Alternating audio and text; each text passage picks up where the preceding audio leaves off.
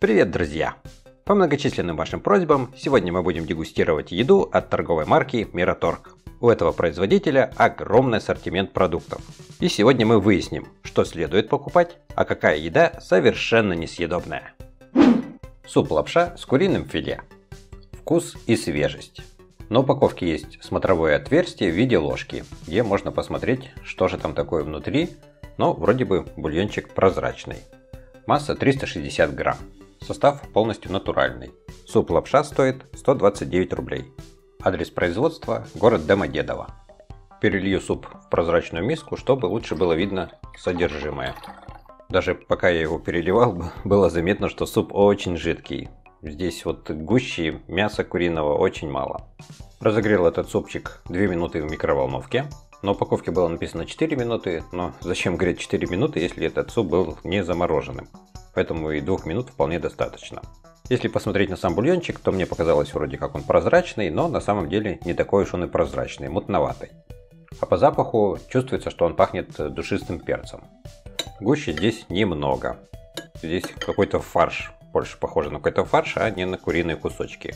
И лапши совсем чуть-чуть. Всего, в общем, пожалели и даже лапши пожалели. Попробовал и во вкусе в основном ощущается душистый перец. Видимо, его сюда так много добавили, что он перебивает вкус всего остального. Не знаю, с какой целью было добавлено такое огромное количество перца. Возможно, потому что курица была не свежая, поэтому и бульончик такой мутноватый, я бы сказал. На свои, на свои деньги этот суп, конечно же, не тянет, потому что здесь, по сути дела, одна вода. Есть здесь абсолютно нечего. Да еще и перца набухали, поэтому вполне вероятно, что была какая-то несвежая курица. Поэтому, в общем, этот супчик меня полностью разочаровал и больше такой бы я никогда не купил. Друзья, рекомендую вам подписаться на мой кулинарный канал «Сочные идеи». На нем я собрал только самые лучшие рецепты, лично проверенные мной. Ссылка в описании. Котлета по-киевски с картофельным пюре. Написано, что сделано из отборных ингредиентов. Состав неплохой, он, конечно, не 100% натуральный, но каких-то добавок здесь не супер большое количество. Картофельное пюре сделано с добавлением сливочного масла, масло хорошее, жирностью 82,5%. Масса упаковки 260 грамм. Котлета по-киевски стоит 229 рублей 99 копеек. Адрес производства Московская область, город Домодедово. Продается это пюре с котлетой в замороженном виде. В инструкции написано, чтобы разогреть, нужно убрать в микроволновку на 4 минуты. Котлета с пюре разогрелась. Для начала я попробую пюре. По консистенции это не супер жидкое пюре, я бы даже сказал, что оно густоватое. Не супер вкусное пюре. И структура у него какая-то, вот как будто бы оно сделано из каких-то хлопьев. И сверху оно немножечко так вот подзасохло, какая-то корочка сверху. И также попадаются комочки. По пятибалльной системе я бы оценил это пюре на тройку, потому что, ну, возможно, это из-за того, что оно было разогрето, и поэтому оно не такое вкусное. Ну и также еще и вкус немножечко кисловатенький.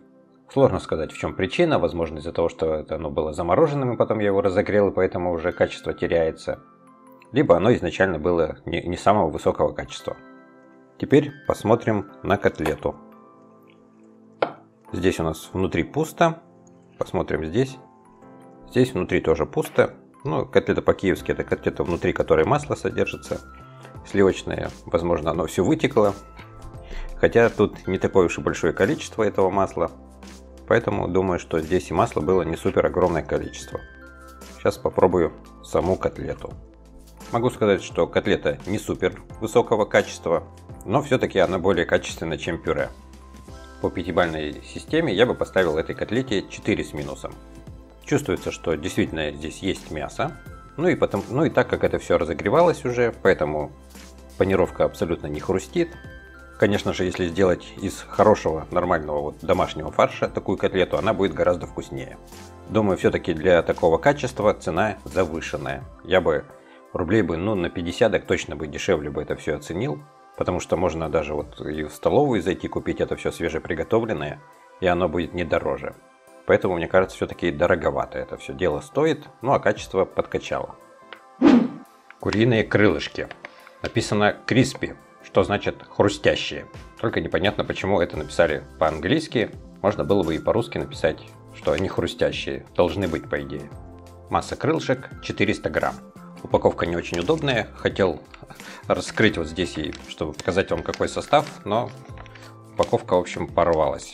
Но тем не менее, кое-что тут видно, и видно, что состав не полностью натуральный, потому что здесь панировка, и в панировке содержатся различные добавки. Ну а из курицы здесь используются плечевые части крыльев. Стоимость крылышек 519 рублей 99 копеек. Адрес производства Калининградская область, поселок Невская. Всего внутри оказалось 5 крылышек, но эти крылышки очень большие. Разогрел эти крылышки на сковородке с небольшим количеством растительного масла. Разогревать их пришлось долго, потому что у них 4 стороны и нужно было обжаривать так не сильно с каждой стороны. Они уже готовы, их только нужно разогреть, но все равно нужно разогревать с каждой стороны, они полностью промерзли, и поэтому процесс этот не быстрый. Судя по разрезу, крылышки были хорошо прожарены. Сейчас попробую на вкус.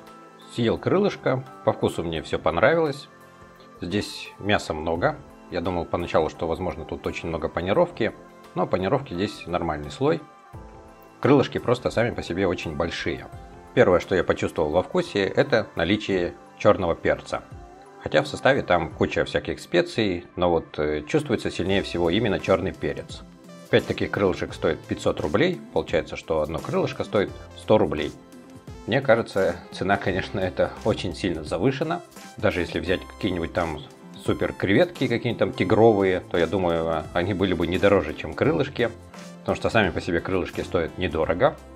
Также во вкусе присутствует острота, потому что очень много черного перца. Поэтому тот, кто острое не любит, тому такие крылышки не подойдут. Могу сказать, что минусов у этих крылышек больше, чем плюсов. Еще бы раз я такие не купил. Блины с мясом. Написано, что начинки стало еще больше по сравнению с тем, что было раньше в этих блинах. Состав хоть и очень длинный, но он полностью натуральный. Из мяса здесь говядина, свинина и мясо цыпленка бройлера. Блины с мясом стоят 205 рублей. Адрес производства Брянская область, Хмелевское сельское поселение. Масса блинов 360 грамм. Блины эти продаются в замороженном виде и имеют вот такую форму, там внутри начинка. Всего в упаковке 6 блинов. Разогрел пару блинчиков. Интересно посмотреть, сколько здесь начинки. Вот такое количество начинки. Фарш, конечно, смотрится не очень как-то приглядно. Непонятно, что здесь находится внутри. В общем, попробую сначала отдельно этот фарш. Первое, что я почувствовал в этом фарше, это наличие мелких костей. Кроме фарша, тут еще есть какие-то вкрапления. Не могу понять, что это такое. Такое ощущение, что эти вкрапления это что-то типа грибов, но вот э, в составе грибов нету. Не знаю, в общем, что это такое, откуда взялось. И начинки, как мы видим, здесь не очень большое количество. Теперь попробую сам блинчик. Сам блин мне понравился, вполне нормальный блин. Начинка, конечно, не очень, но теперь попробую все вместе. Тесто блинное нормальное, но вот начинка подкачала. Это, конечно, вот на мясо совершенно не похоже, какое-то месиво. И стал я есть, в общем, этот блин с этой начинкой, и так сказал сразу, вот блин, потому что ну столько костей мелких в этом фарше, я даже не знаю вообще, как его из чего делали, но вот даже вкуса какого-то мясного особо не ощущается, какой-то и не паштет даже, ну вообще непонятно. Но абсолютно неприятная начинка, и лучше даже если есть эти блины, есть их без вот этой начинки. Наверное, потому так их, сделали, что эту начинку можно просто легко отсюда вынуть и уже просто что-нибудь своего добавить в этот блин. Или даже с той же сметаной их поесть и будет нормально, потому что вот эта начинка, она абсолютно невкусная. И получается, что один блин стоит 30 рублей, и по сути дела начинку это можно выкинуть. Поэтому в таком случае я думаю, что все равно дороговато, потому что начинка совершенно несъедобная, одни, одни блины только здесь съедобные. Ну а так бы они без начинки стоили бы в два раза дешевле. В общем, таких блинов нету желания никакого еще покупать. Чикен бургер со сливочно-грибным соусом. Из мяса птицы собственного производства. Масса 150 грамм. Здесь написано, из чего этот бургер состоит. Если мы посмотрим на состав более тщательно, из чего состоят котлета и все остальные ингредиенты, то вот такой здесь очень-очень длинный состав, он не полностью натуральный. Есть красители, консерванты, ароматизаторы, в общем полный набор. Чикен бургер, стоимость 209 рублей. Адрес производства Московская область, город Домодедово. Необычность этого бургера в том, что он продается в замороженном виде. И, и, и что-то он как-то смотрится Очень стрёмно, весь развалился. Ну, видимо, при транспортировке как-то его так везли, что все, в общем, рассыпалось. Булочка замороженная, все, в общем, замороженное. И его нужно разогреть перед употреблением. Но вот э, как-то смотрится он не, не очень аппетитно, в общем, сейчас. Разогрел этот бургер в микроволновке. Булочка горяченная, так что даже не дотронешься. Одну минуту я разогревал. А вот котлета прогрелась еще не полностью, немножечко холодненькая. Соус весь вытек, и он вообще сбоку лежал. Я думал, что это такой кусок котлеты, что ли. Но оказалось, что это вот соус. И соуса здесь, конечно, количество не очень большое. Помидоров много маленьких кружочков. Попробую отдельно этот соус. Да, действительно очень грибной вкус. Соус вкусный. Соус мне понравился. Можно положить его обратно, где он и должен был бы быть. Посмотрим в разрезе, что будет.